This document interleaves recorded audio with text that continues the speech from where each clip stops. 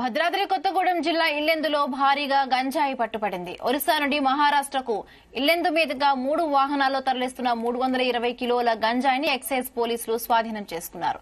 అక్రమ రవాణా చేస్తున్న మూడు వాహనాలను సీజ్ చేసి ఏడుగురిని అరెస్టు చేశారు. నిషేధిత పదార్థాలను అక్రమ రవాణా చేసిన వారిపై కఠిన చర్యలు తీసుకుంటామని ఎక్సైజ్ పోలీసులు హెచ్చరించారు.